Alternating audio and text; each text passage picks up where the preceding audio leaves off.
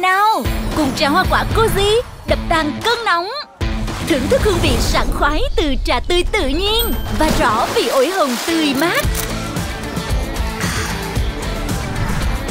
Cùng Cozy đào xả Vải Tắc mật ong Và ô long xoài Thổi bay những ngày oi ả. Trà hoa quả Cozy Ngon rõ vị Vị rõ ngon.